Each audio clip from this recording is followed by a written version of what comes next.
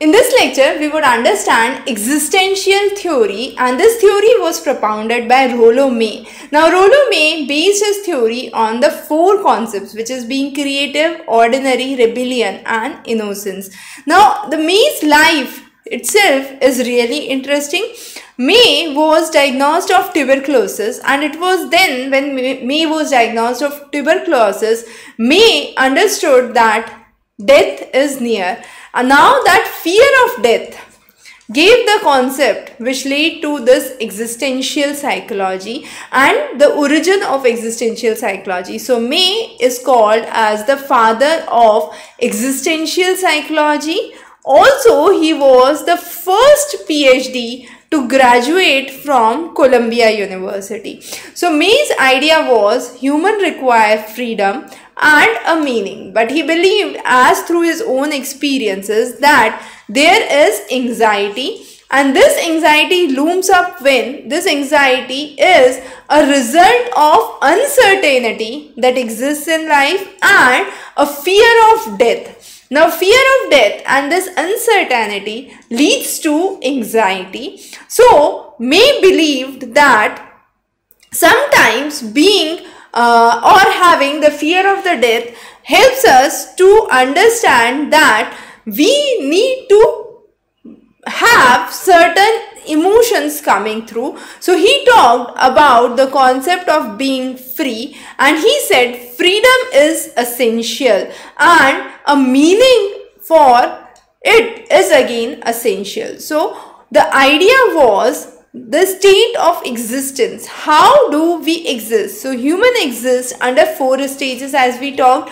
So those are the four stages. The first stage according to him was innocence. That means when a child a small child whatever the child does you won't say that it was child's mistake. You would say the child is innocent, child does not know how to talk, how to walk, how to behave and it is just the innocence. So that is what is the form of existence. So he classified that there are four forms of existence that occur and his concept of existential psychology focused not only about being but it focused about becoming so it's not how you be, but how you become. So that's a way through which you understand what is the idea, what is the the desire how do you uh, proceed for self-fulfillment? What are the social norms? What are the ideologies that are to be taken down from one generation to another? What are the aspects that are to be carried forward from one generation to another? And how do you take the decision?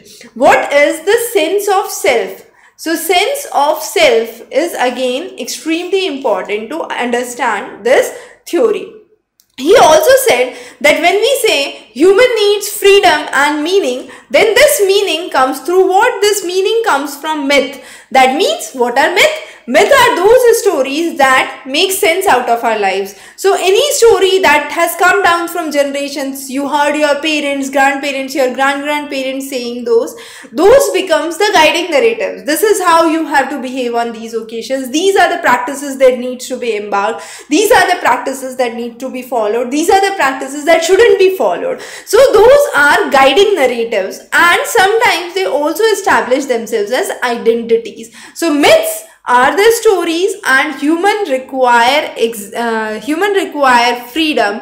And that freedom along with meaning which comes through myths or the stories the narratives or the identities are the basis for uh, existentialism of human being. So we decide it's not just we be but how we become. And we have a path of self-fulfillment we understand that what we have done is correct and that's how we can uh, provide more detailed information to our future generations to our next generation and this is how uh, we give meaning to our life. So how meaning to the life is given, what is the purpose of the life is well explained and understood under the existential psychology